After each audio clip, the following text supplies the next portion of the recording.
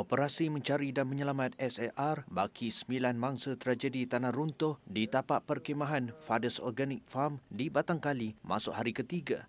SAR dilaksanakan Jabatan Bomber dan Penyelamat Malaysia JBPM, Polis Diraja Malaysia PDRM dan Angkatan Pertahanan Awam APM dibantu Angkatan Tentera Malaysia ATM.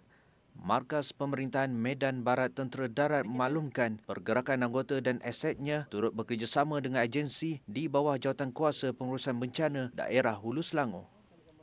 Boleh.